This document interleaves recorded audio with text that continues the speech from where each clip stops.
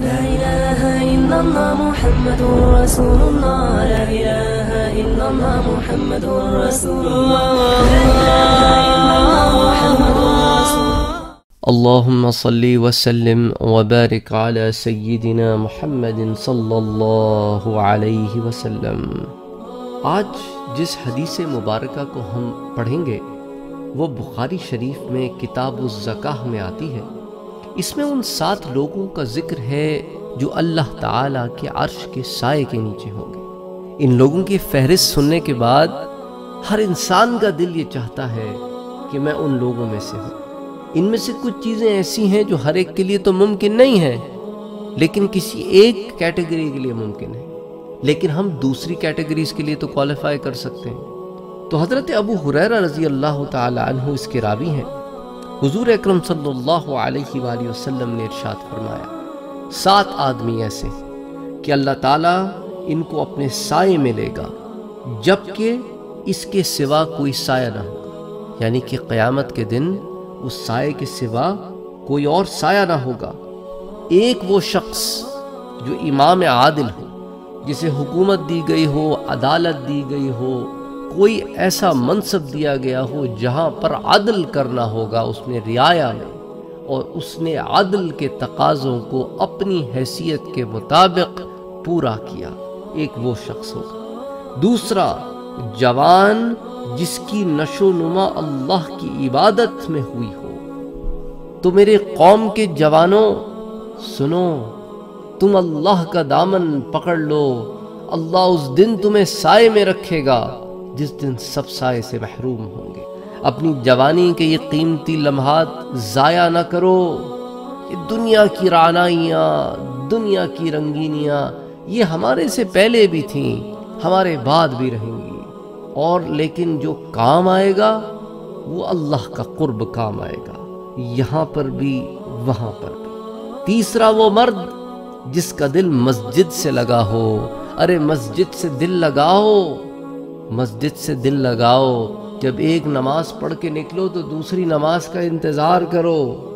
اور پھر وہ مرد جنہوں نے اللہ ہی کے لیے ایک دوسرے سے محبت کی ہو اور اس پر قائم رہے ہوں اور اللہ ہی کے لیے ایک دوسرے سے جدا ہوئے۔ تو محبت اللہ کے لیے کی جاتی ہے۔ کسی دنیاوی غرض کے لیے محبت نہیں کی جاتی۔ وہی خالص محبت ہے جو اللہ کے لیے کی جاتی ہے۔ اور پھر اس پہ قائم رہو۔ پھر وہ مرد، یہ میرے نوجوان، غور سے سنیں، کیونکہ یہ اکثر پھسل جاتے ہیں۔ پھسل جاتے ہیں اور پھر بلیم گیم کرتے ہیں۔ سنیں غور سے، اللہ کے سائے کے نیچے روز حشر رہنا ہے، یہ دنیا میں پھسل کر گہرائیوں میں گرنا ہے۔ پھر وہ مرد اللہ کے سائے کے نیچے ہوں گے، جنہیں ایک اعلیٰ منصب والی، جسے آپ عام زبان میں کیا کہتے ہیں؟ سلیبریٹی بڑی عورت، پیسے والی اور ساتھ حسن و جمال بھی رکھتی ہو، حسین بھی ہو اور وہ تمہیں اپنی طرف بلائے۔ بڑی اٹریکشن ہوتی ہے، بہت اٹریکشن ہوتی ہے۔ اللہ عز و جل نے کہا ہاں اور اس وقت جو اپنے نفس پر قابو رکھے اور کہے کہ نا نا، میں اللہ سے تقوی اختیار کیے ہوئے ہوں۔ میں اللہ سے ڈرتا ہوں، میں نے اس کو ایک دن جواب بھی دینا ہے۔ ہٹ جا میرے پاس سے۔ میں نے تیرے پاس نہیں آنا۔ یہ گناہ نہیں کرنا، زنا نہیں کرنا۔ چلی جا۔ جو اللہ کو اس وقت اختیار کرے جبکہ نفس کا گھوڑا سر چڑھ کے دوڑ رہا ہو۔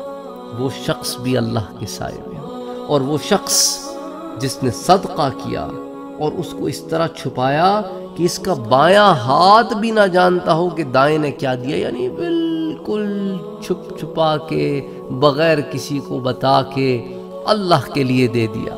بس اس کا رب جانتا ہے۔ وہ آدمی وہ آدمی اور پھر وہ آدمی جس نے تنہائی میں اپنے رب کو یاد کیا۔ آئے ہائے، تنہائی میں اپنے رب کو یاد کیا اور اس کی آنکھوں سے آنسو جاری ہو گئے۔ اللہ اکبر، اب مجھے بتاؤ، ان سات لوگوں میں سے کوئی ایک تو ایسا ہوگا جو ہم کر کے اللہ کے سائے کے نیچے آ سکتے۔ ہیں اللہ جو سایہ ہمیں دے گا روز محشر میں، اس کے نیچے آ سکتے ہیں۔ کوئی ایک تو کیٹیگری اس میں ہوگی۔ اللہ اکبر اللہ اکبر، اللہ ہمیں ہدایت دے۔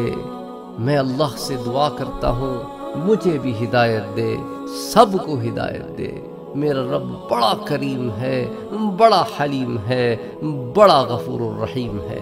ہمارے چینل کو سبسکرائب کرنا نہ بھولیں اور بیل کے آئیکن پر کلک کریں تاکہ آپ کو ریگولر نوٹیفیکیشن اپڈیٹس مل سکیں۔